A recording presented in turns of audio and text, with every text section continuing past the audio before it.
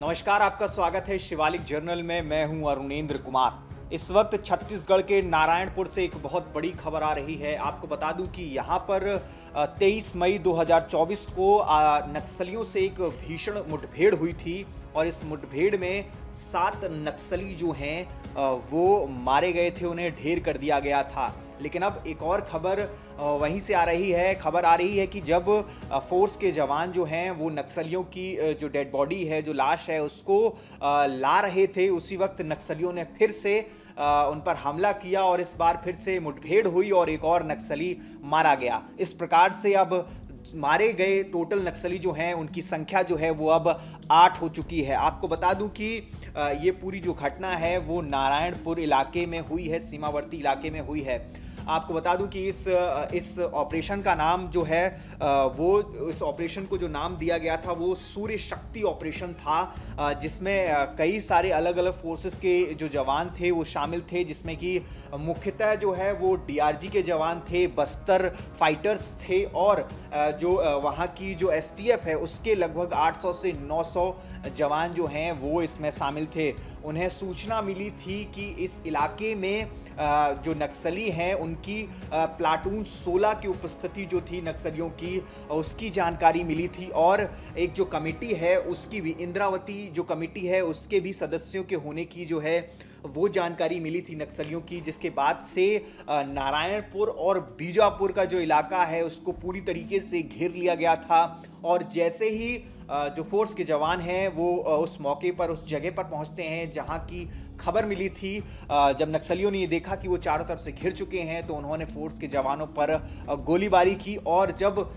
इसी की जवाबी कार्रवाई में फोर्स के जवानों ने गोलियाँ चलाई तो इस मुठभेड़ में सात नक्सली पहले मारे गए थे। आपको बता दूँ कि दंतेवाड़ा, बस्तर ज़िले की, दंतेवाड़ा की पुलिस,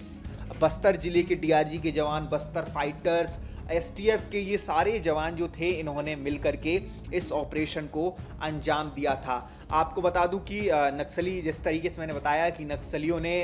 जगह जगह पर आईडी प्लांट कर रखा था और वो घने जंगलों में छिपे हुए थे ताकि जो जवान हैं, वो अगर उन तक पहुँचने की कोशिश करें तो वो इसकी चपेट में आ जाएँ। लेकिन जो हमारे जवान हैं, उन्होंने सूझबूझ के साथ अपनी सूझबूझता दिखाई और इस तरीके का कोई भी जान माल का नुकसान जो है, अभी तक जो है फोर्स के जवानों की तरफ़ से नहीं बताया गया है। आपको बता दूँ कि नक्सली जो हैं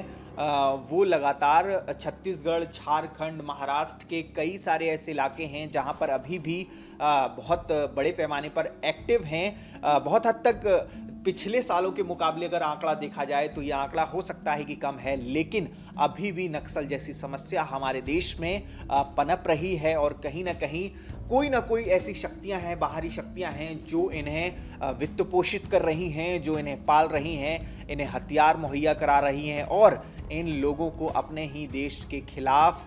बगावती तेवर अपनाने के लिए मजबूर कर रही हैं या कहें उत्साहित कर रही हैं। आपको बता दूँ कि इस ऑपरेशन के दौरान जो है किसी भी जवान को कोई भी नुकसान नहीं पहुँचा है। ऐसा अभी तक की खबर जो है वो बताई जा रही है। नक्सली जो है वो पूरे तरीके से इस वक्त भी घिरे हुए हैं। ना तो वो काकेर ज़िले में जा सकते हैं और ना ही महाराष्ट्र की सीमा पर घुस सकते हैं। अक्सर ये होता है कि जब नक्सलियों को एक राज्य से खदेड़ा जाता है तो वो दूसरे राज्य की सीमा में घुस जाते हैं और वो बड़ी आसानी से बच जाते हैं। लेकिन इस बार जो संयुक्त ऑपरेशन चलाया जा रहा है, उसमें हर ज़िले की पुलिस, बल्कि महाराष्ट्र की जो सीमा है, वहाँ पर भी महाराष्ट्र फोर्स के जो जवान हैं वो अलर्ट पर हैं और इसी वजह से नक्सलियों के लिए इस वक्त निकलना जो है वो थोड़ा सा मुश्किल हो रहा है और ऐसा बताया जा रहा है कि बहुत जल्द ये भी खबर आ सकती है कि एक बड़े पैमाने पर नक्सलियों को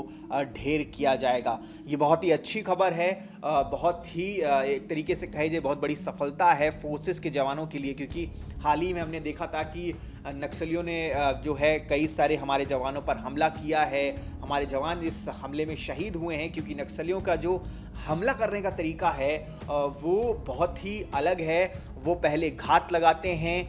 इंतज़ार करते हैं वहाँ पर या फिर एक तरीके से कहें कि जवानों को कई बार गलत इनपुट दिया जाता है और उस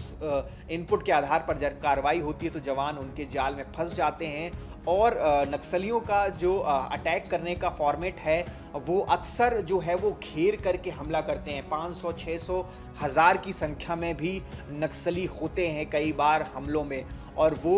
जब पूरी तरीके से सुनिश्चित कर लेते हैं कि जो जवान हैं हमारे वो एक दायरे में आ गए हैं, उसके बाद वो एक साथ उन पर हमला करते हैं। लेकिन उन्हीं की टैक्टिक्स को अब जो हमारे जवान हैं, वो तोड़ करके उन्हीं के लिए इस्तेमाल कर रहे हैं। और इसीलिए हमने देखा है कि नक्सल का जो ग्राफ है, दिन ब दिन भारत में और भारत के नक्सल प्रभावित राज्यों में कहीं ना कहीं गिरते हुए देखने को मिला है। कहीं ना कहीं अब नक्सल जो है, वो अपनी आखिरी साँसें जो है, वो गिन रहा है और बहुत जल्द हमें उम्मीद है कि नक्सल इस देश से पूरी तरीके से समाप्त हो जाएगा। आपका इस पूरी खबर पर क्या कहना है, हमें कमेंट सेक्शन में ज़रूर बताइएगा। जय हिंद, जय भारत।